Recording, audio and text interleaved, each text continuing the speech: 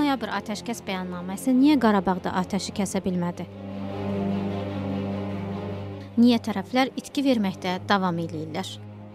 İmzalanmasından 2 ilə yaxın vaxt keçsə də imza atan tərəflər Azərbaycan və Ermənistan 2020-ci il 10 noyabr bəyannamə sənədinin bəzi bəndlərini fərqli şərh eləyirlər.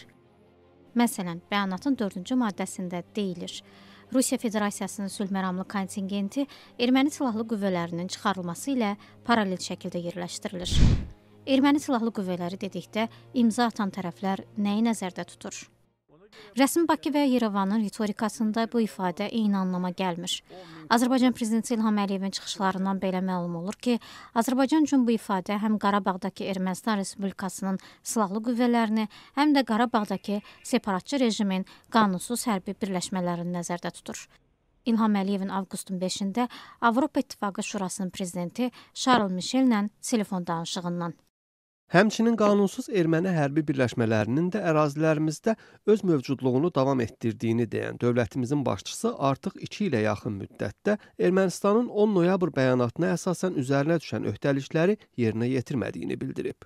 Həmin danışıqda İlham Əliyev həm Ermənistanın Azərbaycanın Qarabağ bölgəsində yerləşdirilmiş qoşunları, həm də qanunsuz erməni hərbi birləşmələri ifadələrini işlədir. Amma Ermənistanda bu fikirlə razılaşmayanlar da var. İrəvanda siyasi şərhçi Ruben Mehrabyan deyir ki, Ermənistan tərəfi hesab edir ki, sənəddəki erməni qüvvələri Ermənistan Respublikasının silahlı qüvvələri anlamına gəlir və onları Qarabağdan çıxararaq Ermənistan öz ehtəliyinə əməl eləyir. El Ermənistanın Təhlükəsizlik Şurasının katibi Armen Qriqoryan Armen Press informasiya agentliyinə müsahibəsində bənzər fikir səsləndirib. Müharibə nəticəsində Ermənistan Respublikasının silahlı qüvvələrinin bölmələri müdafiə qüvvələrinə kömək məqsədi ilə Dağlıq Qarabağa giriblər. Atəşkəsdən sonra onlar Ermənistan Respublikasına qayıdırlar. Bu proses sona yaxınlaşır və sentyabrda başa çatacaq. Müdafiə ordusuna gəlincə o Dağlıq Qarabağda olub və orada qalmağa davam edəcək. Tərəflər bu Bakıda siyasi şərhçi Şahin Cəfərli deyir ki, bu mübahisələr ona görə yaranır ki, 10 noyabr bəyanatı aydın yazılmayıb.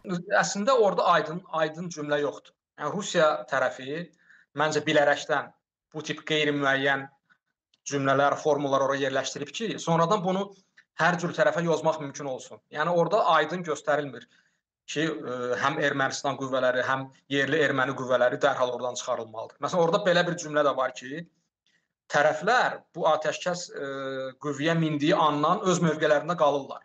Tərəflər. Yəni tərəflər də deyəndə aydındır ki, bizimlə erməni tərəf nəzərdə tutulur da. Yəni faktiki olaraq ə, e, bir bənddə yazılıb ki, tərəflər öz mövqelərində qalırlar.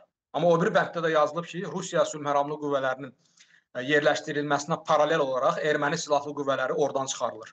Amma çıxarılır, çıxarılır ə, məsələsi də biraz qaranlıq qalır orada. Yəni çıxarılır, hardan çıxarılır? Azərbaycan Xarici İşlər Nazirliyi Azadlıq Radiosunun bu barədə sorğusunu cavablamayıb. 10 noyabr atəşkəs bəyanatı 2020-ci ilin noyabrında Rusiyanın vasitəçiliyi ilə Ermənistan və Azərbaycan arasında imzalanıb. Bəyanatdan sonra Qarabağda 44 günlük iri miqyaslı döyüşlər dayanıb. Bununla belə vaxtaşırı atəşkəs pozulur. Son günlər tərəflər rəsmi məlumatlarında itki verdiklərini deyirlər.